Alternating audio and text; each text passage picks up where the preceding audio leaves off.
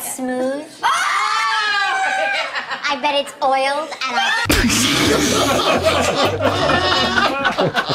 ¿Cómo lo supo? Sharon Osbourne, la esposa del príncipe de la oscuridad, el hombre que nos confirmó a todos haberse fumado toda su fortuna. Hasta papota. Hasta diosa blanca. ¿Qué tal Blancanieves? Sí, hasta perico. ¿Inhalemos un muñeco? Sí.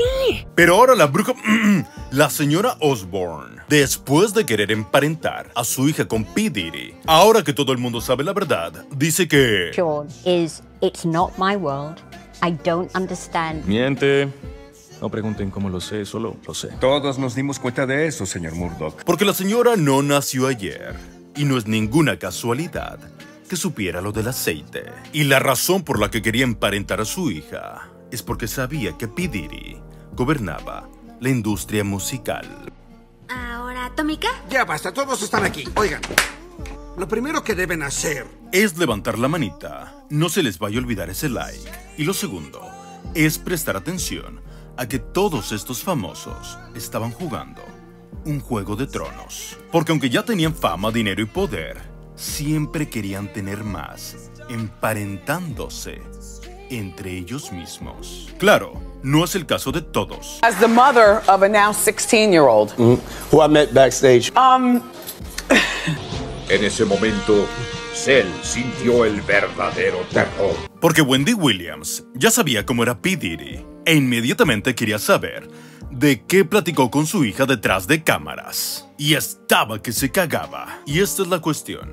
¿Cuántos de todos estos famosos, sabiendo de lo que era capaz, ahí estaban ah, literalmente ofreciendo unir ah, sus casas con alguien como él? Porque Sharon no es la única, es una del montón. Y los detalles, uff, agárrate. Pero si esta es tu primera vez por aquí, suscríbete, porque aquí platicamos todo el chisme. Como por ejemplo, ya supiste que Ángela le anda copiando el vestuario a la ex de Nodal. ¡Locura! Porque Ángela, sin ni siquiera darse cuenta, se anda vistiendo como Belinda. Con tus zapatos caros, muñeca. No son caros. Lo curioso es que si prestas atención, lo mismo le pasó a Kazu cuando empezó a andar con Nodal.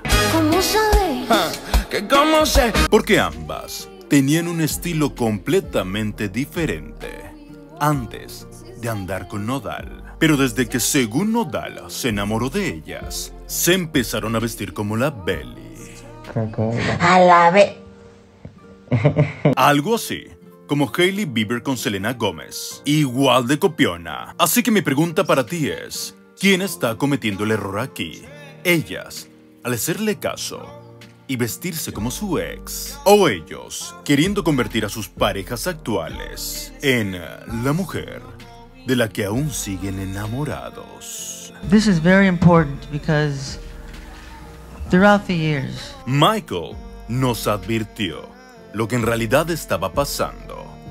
Pero, precisamente por advertirnos, es que destrozaron su reputación, culpándolo de todo lo que ellos estaban haciendo. Pero quiero creer que ya no estamos en esa época en la que Sharon apostaba que P. Diddy la tenía. De su piel, suave, como el aceite para bebé. Anyways, el punto es que espero que ya no estemos en esa época en la que toda la gente se traga lo que las grandes empresas quieren que tú creas. ¿Cuánto he meditado el misterioso discurso de victoria de mi rey? it's time now that we have to put a stop to this incredible, incredible injustice. El tiempo le dio la razón. Y ahora nos toca a nosotros, de latino a latino, divulgarlo por todo el mundo. Porque como bien nos lo advirtió, mi rey, Tommy Motola, el esposo de Thalia, el que a simple vista te puedes dar cuenta que le da asquito. Misma razón por la cual ahora entiendo perfectamente por qué ese vestido. Pero está perdida. Porque aunque quiera terminar esa relación, no va a poder, al menos que él quiera. And he's very, very, very devilish. Así que dudo mucho que Thalía se pueda salvar después de venderle su alma al diablo. Hablando de, después de que la hija de Ozzy, Kelly, se metiera con P. Diddy y dijera Wake up in the morning like P. Diddy. y se la terminará rolando con varios otros, entre ellos el otro pedo de Ashton Kutcher. Yo quiero que tomes en cuenta muy bien los detalles para que puedas comprender la diferencia entre una víctima, un cómplice, una persona inocente y un villano.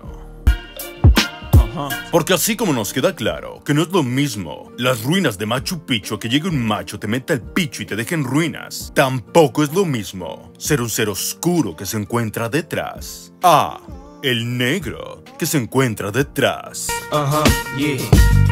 Porque algunos de ellos incluso iniciaron como víctimas, pero terminaron como villanos, otros como cómplices y otros ya ni siquiera se encuentran con nosotros, mientras que otros You shut the fuck up about. You shut the fuck up about Michael. I'm Michael now. Kanye West dijo toda la verdad todo el tiempo sobre todo y sobre nada le creímos. Ni siquiera cuando dijo que estaba salvando a Taylor Swift. Happy for you. I'm gonna let you finish. But Beyonce had one of the best videos of all time. Sé que es una locura. Sí. ¿Qué? Oye, ¿por qué? Uy, agárrate, o café, porque resulta que el complot está más cabrón que el de Juego de Tronos, ya que en sí, de esto es de lo que se trata, quedarse con el trono. El poder es una cosa curiosa.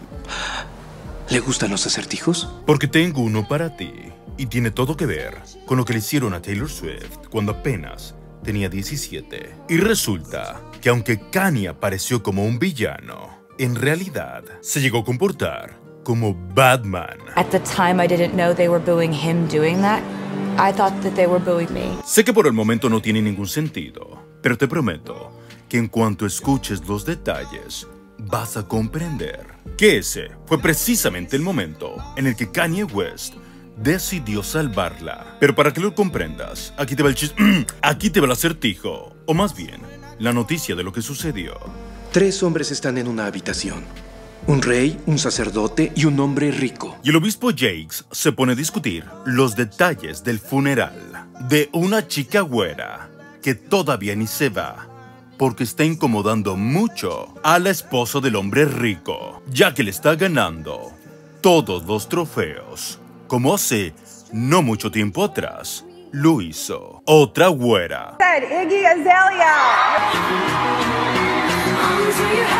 Y si algo quedó muy claro fue que... I've won a lot of awards over the last few years. Pero si algo quedó muy claro es que Beyoncé estaba muy enojada porque Iggy Azalea era muy fancy y todo le estaba ganando. Y después de que la empezaran a amenazar, ella simplemente dijo, más vale aquí corrió que aquí quedó. Para que no me escabeche. Razón por la cual Iggy se retiró de la nada y siempre le ganaba Beyoncé porque era de las pocas cantantes que tenía oportunidad de ganarle, ya que ella no pertenecía a la disquera de P. Diddy, Jay-Z o Pharrell. Así que no le podían hacer lo mismo que a todos los demás, quitarle sus canciones para dárselas a Beyoncé, como antes se las solían dar a J-Lo, la ex de P. Diddy, quien hasta le robó canciones a Mariah Carey. I have a problem when someone copies my look exactly and they're not even a real singer. Sorry. Yeah, yeah. Y lo que Iggy tenía detrás era tan grande como lo que le tenía a Jay-Z y P. Diddy, porque todos los que se encuentran en la industria saben perfectamente bien qué fue lo que realmente le pasó a Leah cuando Beyoncé quiso lo que ella tenía, al igual que a otras. Como Adele, de quien ahora sabemos, estaba que se cagaba del miedo al recibir el premio, gracias a la confesión de su ex esposo, Simón, quien mencionó estaba muy molesto de que en ese momento Adele tuviera que mencionar que ella no se merecía el premio, que ese premio se lo merecía Beyoncé, solo para que la morra no se molestara con ella. Y así, no tener que pagar las consecuencias de demostrar que es mejor que ella. Misma razón por la cual Kanye, quien estaba un paso delante y sabía todo el desmadre, decidió actuar y poner contenta a Beyoncé.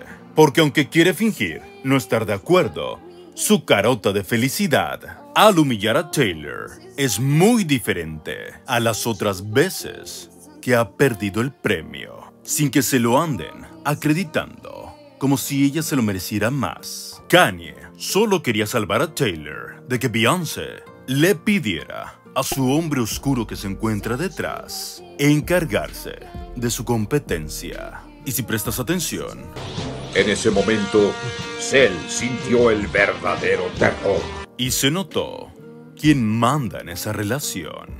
El poder reside donde los hombres creen que reside. Es un truco, una sombra en la pared. Anyways, después de que en el concurso de clavadas Chase dijera, estaba corriendo. Tú sabes que me vendría muy bien alguien como tú, alguien tan sexy como los más guapos del canal. Y hay que felicitar a la cumpleañera. Go shorty, it's your birthday. We gon' party. Es tu cumpleaños y muchas felicidades. Pero bueno, como te estaba diciendo, el basquetbolista le dijo, yo necesito a alguien como tú. Todo lo que sabes y todo lo que hablas. Incontables amantes. Alguien que cubra mis acciones en la calle. Alguien como tú. Tú sabes que puedo usar a alguien. Esa es una canción.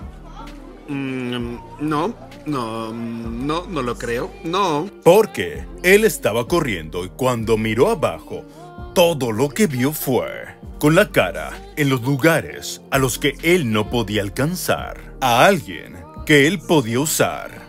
Con todo lo que sabe y todo lo que habla, con incontables amantes. A alguien que cubra sus acciones en la calle. Él podía usar a alguien como Pidiri para pasárselo por los hue... Sí, güey. Es exactamente lo que pasó, tanto literal como poéticamente.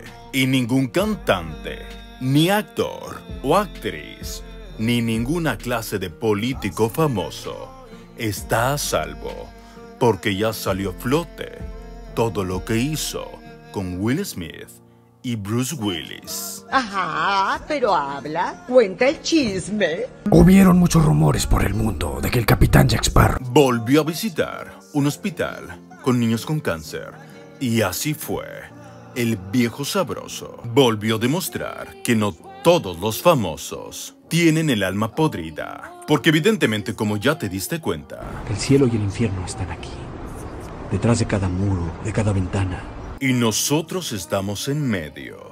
Pero bueno, mejor sigamos con el chisme más oscuro que el café, ya que... Pues... Se va a poner muy sabroso, en especial con lo que se tocaron. Pero hablando de tocar, como que ya es hora de que me vayas tocando. Allá abajo, no niegues que te gusta. ¿Lo dices otra vez, por favor? Oh, sí, claro, que no te hagas güey, que ya vas para 10 minutos aquí y no ve para cuándo pongas el like. Porque para llevar todo este tiempo en el video, no solo te gusta, te encanta. Yo lo sé, usted lo sabe, incluso él lo sabe, que es mucho decir ya que estoy seguro De que es muy macho, también le encanta todo el chismesote. Pero bueno, prepárate porque aquí viene el negro. Eso es exactamente lo que le terminó diciendo Will Smith a Bruce Willis y Owen Wilson, ya que Will Smith le advirtió a Bruce Willis lo mismo que a la hija de Ozzy Osbourne le advirtieron. Tienes 10 segundos antes de que estos chicos te vean y cuando lo hagan, Te la van a dejar ir doblada. Pero Bruce juraba que nunca iba a pasar, porque el buffet era papaya y melón, pero nunca se les cruzó por la mente que les estaban haciendo lo mismo que Justin Bieber, alimentándolo como a un pavo para esa noche convertirlo en el plato principal. Solo pasó. Puede pasarle a cualquiera. Algunos fueron engañados, otros fueron por su gusto, otros eran demasiado jóvenes para no entender en lo que se estaban metiendo. Pero sus padres sí. Y a Bruce Willis es el único que le podemos creer que no recuerda. No, yo sé, yo sé. Perdón, perdón, perdón. Pero si te informas bien, Bruce a cada rato se aprovechó de incontable cantidad de chicas mucho más jóvenes. Pero bueno, eso es un tema para otro día. Ahorita quiero que tomes en cuenta que si el Whitey no te deja dejar el like como a varios, comparte el video para que todos se enteren, aunque el sistema no quiera. Márchense de esta reunión y transmitan lo dicho.